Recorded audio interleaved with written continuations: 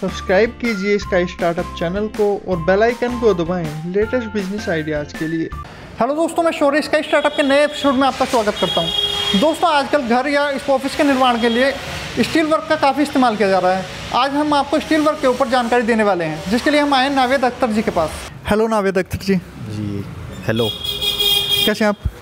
Sir क्या कारण है कि आजकल बिल्डिंगों में ऑफ़िस में घर में स्टील वर्क का काफ़ी उपयोग करा जा रहा है? बस सर उपयोग ये है कि आजकल लोगों को मतलब जो पहले वर्किंग था अभी के मुकाबले ये है ना कि थोड़ा कॉस्टली नहीं पड़ता है। जैसे पहले एमएस का वर्क था पहले एमएस वर्क कराते थे लोग बाग तो उसमें थोड़ा कॉस्टली और होता। लेकिन अभी उसके मुकाबले कॉस्टली कम पड़ रहा है। इसलिए लोगों ने एमएस का उसका एसएस का वर्क और ये एलुमिनियम का वर्क सब अपने घरों में कराना शुरू कर दिया है उन्होंने। सर अगर कोई व्यक्ति स्टील वर्क स्टार्ट करना चाहे तो उसे कितनी ज़रूरत होगी और क्या लाइसेंस वगैरह की भी ज़रूरत होगी कोई? नहीं ज़रूरी है। दैट्स वाई कि अगर हम गवर्नमेंट को टैक्स वगैरह पे कर रहे हैं तो इसके लिए तो ज़रूरी है कि अपनी फर्म रजिस्टर्ड वगैरह करानी ज़रूरी है। तो करानी चाहिए उसमें कि वर्क करने के लिए। आपको बेनिफिट भी होता है ये नहीं कि आपको कि रिटर्न भी मिलता है। जैसे आप उसमें टैक्स वगैरह पे जो करते हैं तो उसमें रिटर्न भी मिलता है। तो उसमें बेनिफिट भी है कि आप माल जो जैसे बाहर से भी कहीं दूसरे उससे भी मंगा रहा हो दूसरी सिटी से मतलब जैसे कि अपने स्टेट से अलग उत्तर प्रदेश तो वो भी आने में बेनिफिट है कि वो आपको मिल जाएगा मटेरियल और सर ज़मीन के कम से कम कितनी ज़रूरत होगी कि कितनी ज़मीन होनी चाहिए इस काम के लिए? मिनिमम ज़मीन जो आपको वो तो रिक्वायरमेंट ये करता है कि आपका मटेरियल कितने मतलब कितनी उसका है जी। लंबाई का कितनी उसका है तो लेंथ वगैरह। जैसे मिनिमम हमारी स्टील की एक एस लेंथ 20 फीट होती। तो मिनिमम हमें इसके एरिया के लिए लगभग 40 फीट का एरिया आपको फ्रंट चाहिए। उसके अलावा कम से कम 40 फीट का ही एरिया इधर को चाहिए। सर लेंथ तो इसमें चाहिए कि जैसे स्टेयर्स की रेलिंग हो गई की या कोई मॉल वगैरह की रेलिंग हो गई उसमें फ़र्स्ट फ्लोर सेकंड फ्लोर पर रेलिंग होती है तो वो लंबी रेलिंग होती है। तो लंबाई तो सर चाहिए। उसके हिसाब से कितनी एक जगह चाहिए कि सर? नहीं उसमें तो आप कितना ही जितना वो कर सकते हो जितना अफोर्ड जितना हो सकता है उतनी ज़्यादा से ज़्यादा वही फ़ायदा है। उसमें आप कितना ही कर लीजिए। बिल्कुल मटेरियल इसमें बहुत है क्योंकि रेंज बहुत होती है स्टील जी। में। जी। तो रेंज वगैरह रखने के लिए जितनी जगह हो जाए उतनी कमी है अपने अपने लिए। सर आपने बात की रेंज की। तो रेंज मेंटेन करने के लिए माल कहाँ से आता है सर? ये रॉ मटेरियल जो आप बोलते हैं। सर रॉ मटेरियल बाय हम तो ज़्यादातर हिसार से ही लेते हैं। जी। जी। लेकिन एक्चुअली गाज़ियाबाद में भी जहाँ से अपना रीज़नेबल प्राइस रीज़नेबल रेट जहाँ से मिल जाते हैं वहीं से पिकअप कर लेते हो। गाज़ियाबाद या हिसार अपना दो प्लांट वगैरह वहाँ पर भी है तो अपना वहीं से वो डायरेक्ट फैक्ट्री से ही उठाते हैं। सर जैसे ये स्टील वर्क में पाइप हो गए सीट्स वगैरह हो गई तो ये किलो में आती हैं या एम एम डायमीटर वगैरह के हिसाब से आती है? जी जी स्टील का पाइप किलो में ही आता है सर। बाई वेट ही होता तो वहीं से ही बाई वेट आता है बाई वेट ही बिकता है बिल्कुल सर। जी। सर उसके बाद आप खुद मैन्युफैक्चरिंग करते हैं आप चीज़ों की? मैन्युफैक्चरिंग तो करते हैं हम लेकिन उसमें हमारा ट्रेडिंग का भी काम है। बिल्कुल जी। ट्रेडर्स भी है कि अपना होलसेल रिटेल भी है। मैन्युफैक्चरिंग अलग है। मैन्युफैक्चरिंग भी करते हैं हम। हमारे पास अपनी मैन्युफैक्चरिंग सर क्या क्या चीज़ें आप बनाते हैं यहाँ पर?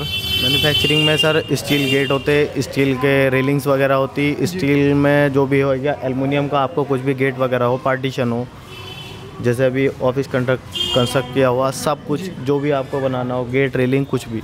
सर जैसे हम यहाँ देख रहे हैं एक चेयर है स्टील की बनी हुई है। जी, जी, क्या ये चेयर वगैरह भी आप खुद बनाते हैं? वगैरह भी जी जी चेयर वगैरह भी बनाते हैं। चेयर जो है चेयर हो सोफ़ा हो और बेड वगैरह जी कोई सा भी आइटम हो सभी सभी आइटम बनेगा सभी मिलेगा आपको। बहुत बढ़िया। सर सर जैसे ये पाइप वगैरह तो सीधे आते होंगे।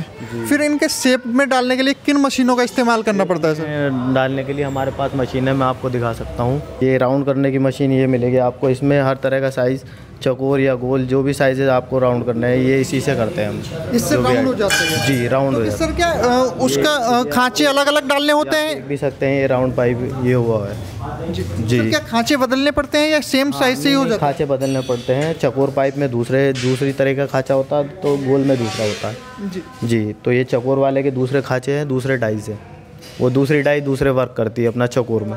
बिल्कुल सर। सर ये तो बात होगी पाइप को राउंड करने की। इसके बाद इसकी कटिंग वगैरह या जोड़ने का वो क्या करते हैं? कटिंग वगैरह जो होता है वो अपना अपना कटर वर्क करता है।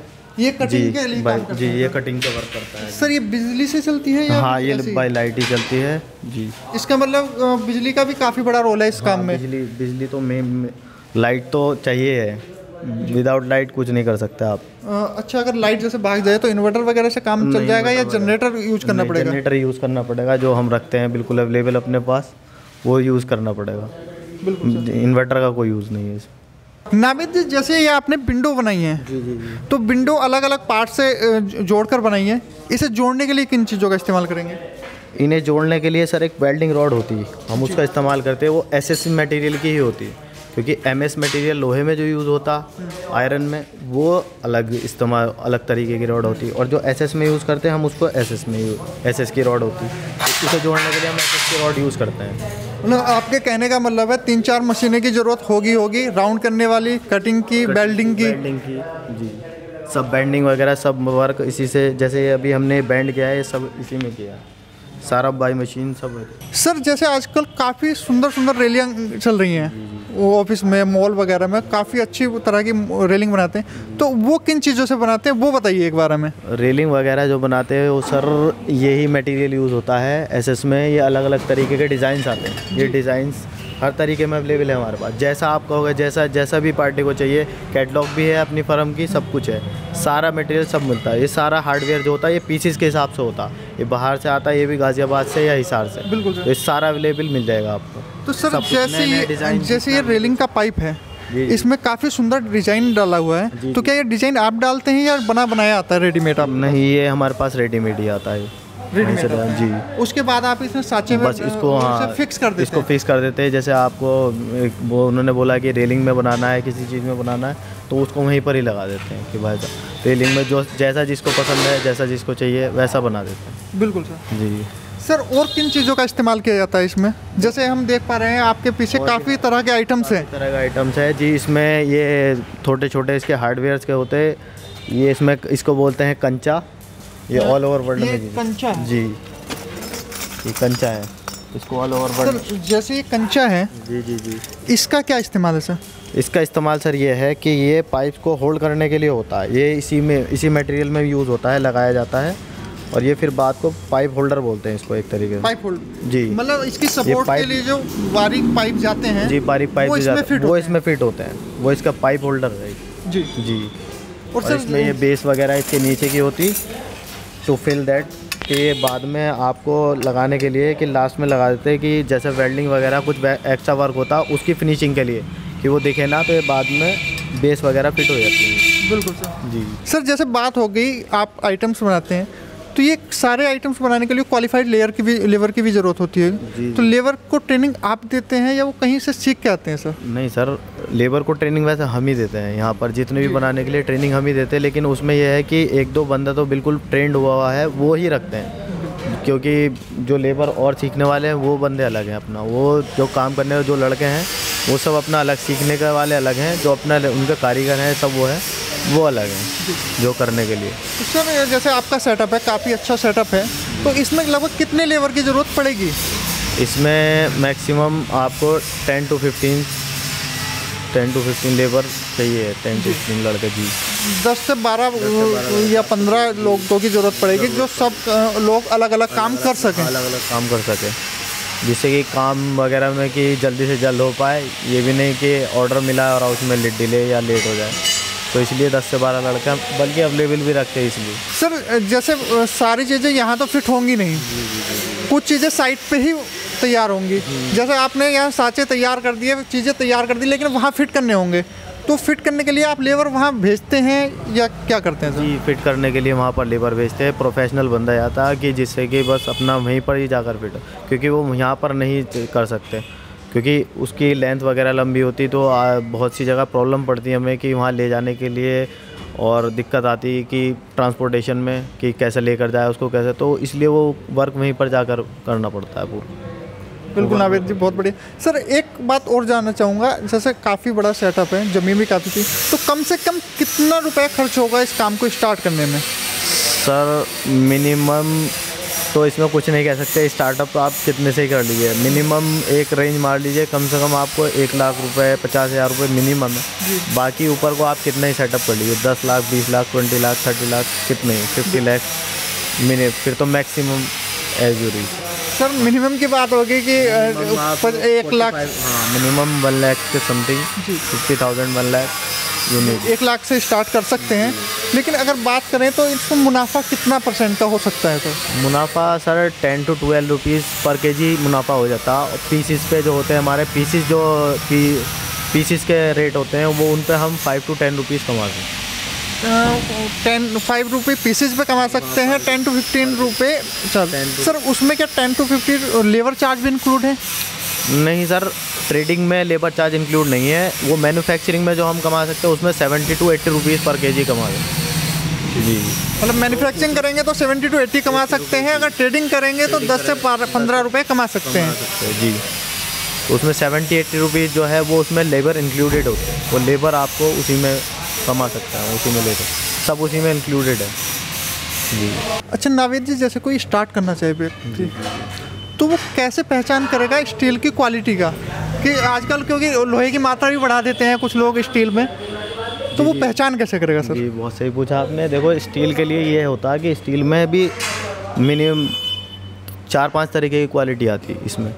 जो ग्रेडिंग सिस्टम होता है इसका एक 202, 304, 316, 320, 325 सारे सिस्टम होते हैं इसमें। लेकिन जो मेनली हमारे इधर जो साइड में चलता हो दो सौ दो और तीन सौ चार। तो इसे पहचानना इसकी नॉलेज लेना इसकी नॉलेज होना बहुत ज़रूरी है। कभी आप इन्वेस्टमेंट करो उसमें कभी आपको कुछ मटेरियल ख़राब मिल जाए कहीं से कुछ लोकल मिल जाए कुछ ऐसी दिक्कतें आती तो उस दिक्कत को फेस ना करके यह नॉलेज होनी चाहिए वो।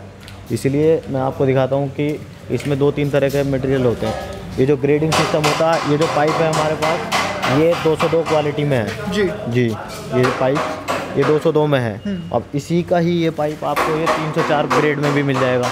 इसी का। ये तीन सौ चार ये 304 और बढ़िया क्वालिटी में है। तो ये इसी का नॉलेज होना इसी की वो पता करना ये चीज़ आपको पता होनी चाहिए। नहीं तो इसमें दिक्कतें आएँगी फिर कि पता नहीं आपको मटेरियल ख़राब मिल जाए क्या मिल जाए। तो इन्वेस्टमेंट करने से पहले सोच लेना चाहिए कि कम से कम हम क्या मटेरियल कहाँ से ख़रीद रहे हैं क्या ले रहे हैं। तो इसमें बहुत सारे ऐसे ग्रेड होते हैं तो वो सब सबकी नॉलेज होना ज़रूरी है। ऐसा नहीं कि बिना नॉलेज विदाउट नॉलेज आप कहीं से भी कुछ भी मटेरियल उठा के कि भाई सब ले आए और वो आप फेल हो जाएगी। बिल्कुल जी। सर अगर आपसे कोई काम कराना चाहे स्टील का या कोई चीज़ लेना चाहिए तो आपसे कैसे संपर्क करें? आपका एक एड्रेस बता दीजिए सर। जी हमारा ये एड्रेस है ये मोहल्ला कहरान और मछली बाज़ार धामपुर में। जिसको भी किसी को एन एम मेटल मार्ट मेरी शॉप का नाम है। जिसको भी आपको संपर्क करना है कुछ भी मैन्युफैक्चरिंग ट्रेडिंग जो भी मटेरियल आपको सब अवेलेबल है सब रीज़नेबल रेट रीज़नेबल प्राइस पे सब मिलेगा आपको। लेबर की कोई परेशानी नहीं किसी भी मैन्युफैक्चरिंग में कुछ भी डिज़ाइन जो भी डिज़ाइन आप बनवाना चाहते हैं गेट्स वगैरह एलमिनियम वर्क एमएस वर्क सब अवेलेबल है हमारे पास। ये थे हमारे साथ नावेद अख्तर जी जिन्होंने स्टील वर्क के ऊपर हमें जानकारी दी। नमस्कार नावेद जी। नमस्कार जी।